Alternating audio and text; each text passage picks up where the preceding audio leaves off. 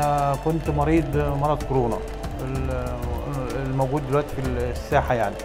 ورحت مستشفى العزل في أسيوط والحمد لله تعافيت وخرجت من حوالي 15 يوم. فسمعت على مركز آه، خدمات الدم هنا في العجوزة إنه بياخدوا البلازما بيديها لإيه؟ للمرضى إنه يعافى إيه؟ من هذا المرض. فأنا حبيت إن أنا أعمل عمل إنساني وأدي البلازما والدم بتاعي يروح لحد ان هو يتعافى إن شاء الله ويبقى كويس إن شاء الله يعني, يعني.